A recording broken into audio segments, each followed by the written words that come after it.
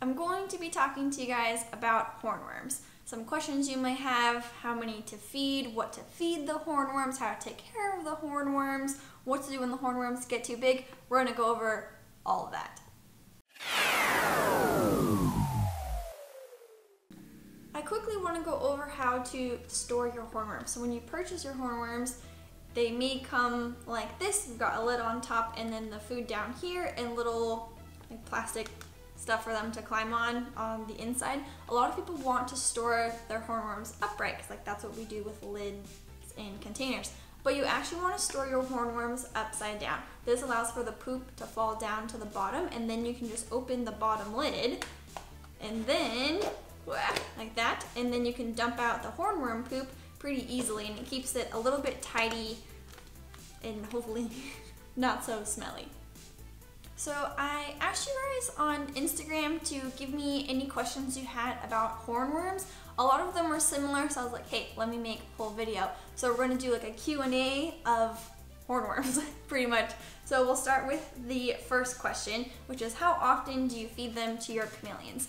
Hornworms are pretty well known to be a treat for your chameleon. If you didn't know, now you know. What I do is I will feed one to two hornworms at a time and I will do that two to three times a week. Now, I know that may seem like a lot of treats in a week, but because hornworms go grow so fast, you kind of have to be quick about it. So I typically do one or two per meal, two or three times a week. What's the closest alternative? They are banned in the UK. The closest alternative I can think of would be a silkworm they're both squishy worms, great for hydrating. A silkworm is healthier because they also have protein in them. Have you ever allowed one to pupate? So if you didn't know, a hornworm is actually a caterpillar and it goes into a worm, worm into a cocoon, which is called the pupa or pupate stage, and then it'll hatch into a hawk moth. So it'll look like a brown cocoon, like just what you learned in elementary school with butterflies. So yes, I have had my hornworms go into the cocoon pupate stage before, and I've actually hatched them into hawk moths, and I think we'll get into that a little bit later on. This is a popular question. Do you recommend hornworms for younger chameleons? And the answer is no. Two reasons. One being is that the hornworms get really big. They get too big for your chameleon. So the general rule of thumb is no feeder bigger than the width between their eyes. In hornworms, there's a slight exception because they are so squishy, so you can do maybe a little bit bigger than the width between their eyes. But the thing is, like, hornworms just grow so, so, so quickly. So quickly. And so you won't be able to feed them off fast enough for a younger chameleon. So I what ended up happening to me is I bought them for Neptune when he was younger and I wasn't able to feed them off fast enough. So then I was just left with these like massive worms on this like little bitty chameleon. So then it ended up like they all ended up dying and then I had to like flush them down the toilet and it was very dramatic and very traumatic and very sad. So I wouldn't recommend buying hornworms until your chameleon's at least six months old, if not closer to eight months, so then you can feed them off over the course of like a week or two without the hornworms getting too big for them. Okay, this person said, my cham tried eating one, but it pinched his lip and he spit it out and now he won't eat them.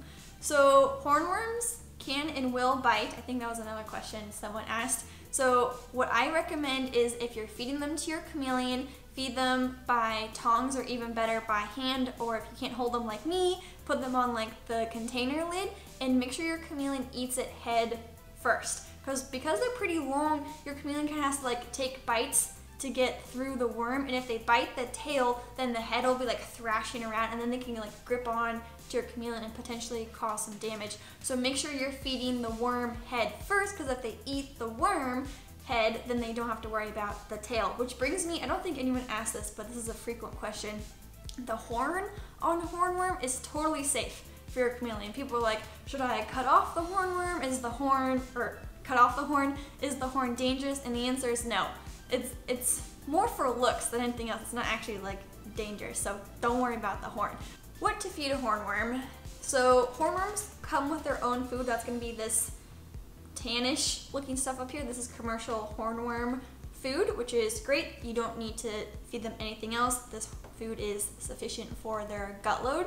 No need to do anything else. However, a common problem that people have is that they will run out of this food. The worms will just gobble it all up, and then you're like, oh no, what do I feed the worms? So what I will do if I run out of hornworm food is feed them carrots. That seems to work just fine. They will eat them no problem, and then they actually have orange poop by the end of it. So that's what I would recommend. Can you feed the cocoon? I'm gonna go with no. You're better off feeding the worm or the hawk moth. Do not feed the cocoon. Best place to buy them online. So there's a few different spots that you can buy them online if you don't have anywhere local to buy them. Um, I will leave a link down in the description below um, to the sponsors page of the chameleon forums. There's tons of places that offer hornworms. They're super, super common. I will say hornworms are on the pricier side, so just keep that in mind when you're shopping around, but that's where you can check out some online places. How long can you keep them before they, quote, go bad, end quote? Um, I would say approximately one and a half weeks. They're, they go, they get pretty big pretty fast and like they, they can die and rot and decompose and smell awful. So probably no more than, than two weeks. How many is too many in one day and how often should I give it to her? So we talked about how many you should feed and kind of how frequently and like you know, there's little wiggle room for that. There is such a thing as feeding too many hornworms, and this would result in overhydration or super watery poops. So make sure you're limiting the number of hornworms. I would say, like, I do two, that's just me, but you know, maybe you could do do three, but I really wouldn't do any more than that because then you're just gonna end up with some some watery poops and a very, very full chameleon.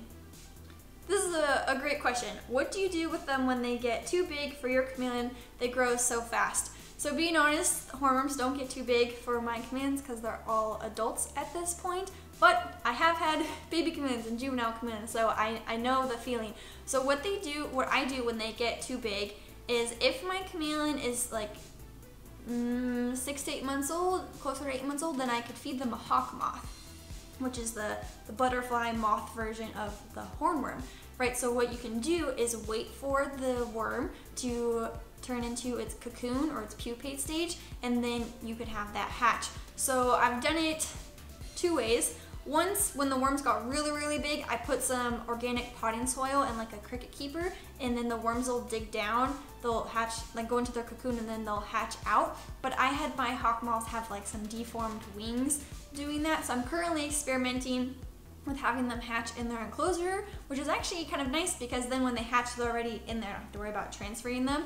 So I waited for them to turn into their cocoon stage, and then I put them into one of my potted plants um, or you just put the worm, the really, really big worm, in a potted plant, and then I think that'll help because it's constantly getting misted and it has high humidity, so hopefully it'll have um, fully, fully formed wings. But you can hatch out a hawk moth. I should mention, hawk moths get pretty big, probably like a wingspan of that big and a body about that big. Excellent feeder, but sometimes that can be too big for your chameleon, in which case you just have to kind of toss the hornworms. Um, so you can flush them down the toilet, toss them in the trash. Whatever you do, do not release your hornworms into the wild though. That's a very, very bad idea and they'll destroy everyone's tomato plants and I'm pretty sure they can become an invasive species, maybe. Don't quote me on that. Point being, don't put them outside. Would you recommend hornworms for a two-month-old veiled chameleon? No. How do I stop them from growing because mine grew double the size in two days? Yeah, that's what I'm saying. They grow super, super fast.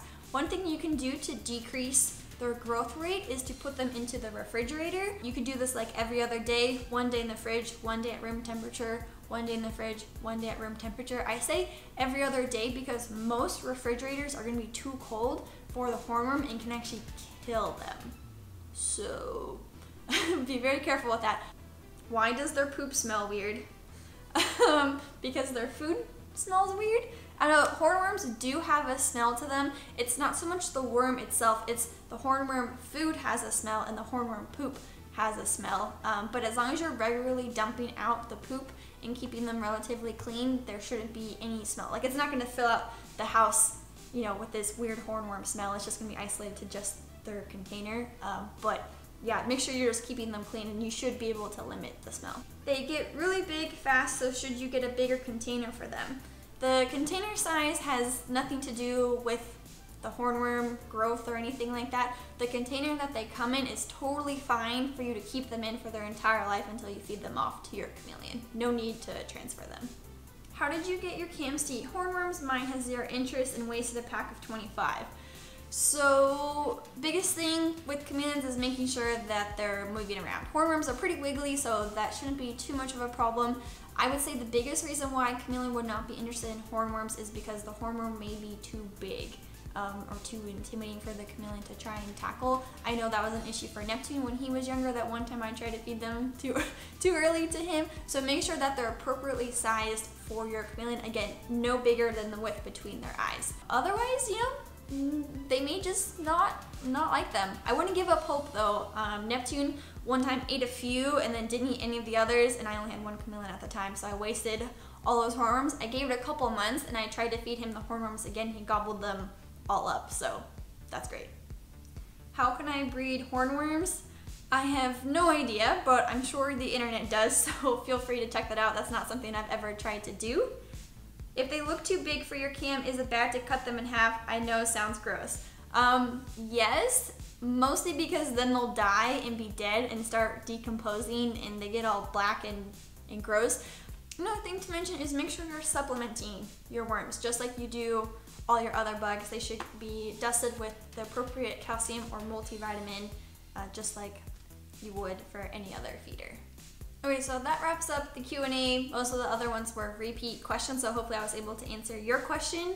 Just some pro tips, I guess, from things I've experienced. Do not leave the lid off of your worms. They will crawl out and they will crawl over your whole apartment, and then you have to try not step on blue worms and pick them all up and hope that you got all of them. Another thing is that they will crawl out of feeder cups. So if you guys don't know, I use a, a bird feeder to feed my chameleons. If a hornworm gets too big and can climb out of it, it will, and then we'll end up in the enclosure. It's okay to free range your hornworms, like put one in the enclosure. Just know that a hornworm has a super, super strong grip. So there is a chance that you can cause damage to your chameleon's tongue. Say the worm is gripping really hard on a branch, your chameleon's tongue like latches onto the worm and isn't able to pull it back, then that can cause damage. Another thing is that hornworms are super, super squishy and you can be in the splash zone. Their guts will go flying everywhere, so just be careful. Um, you may get some hornworm guts on you. Oh, another thing. Hornworms are great for bonding with your chameleon. While there are some chameleons who don't like hornworms, I would say the vast majority think they're like candy. And so these are a great, great, great treat to build trust with your chameleon. I have a whole video on how to handle your chameleon and build trust with your chameleon, so I'll link that above here and in the description box below. Hopefully this gives you a good idea of where to buy them, how to take care of them, how to feed them to your chameleon, how often to feed them to your chameleon, when you should feed them to your chameleon, like at what age. So I'm I did answer a lot of questions, but I'm sure I missed some, so feel free to let me know down in the comments below any questions you might have about hornworms. I'll try to link some resources in the description, and also like check out the internet. You know, I'm not a bug expert, I just have fed many hornworms to my chameleons.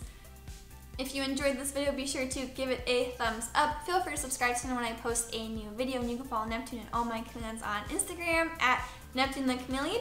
Thank you so much for watching, and have a good day. Worms here. But what happens sometimes... Oh, you kidding me. Mister went off.